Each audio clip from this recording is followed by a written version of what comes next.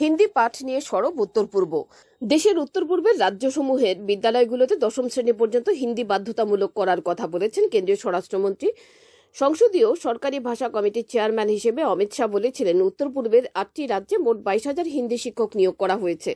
সব রাজ্যই দশম শ্রেণি পর্যন্ত হিন্দি বাধ্যতামূলক করতে রাজি হয়েছে।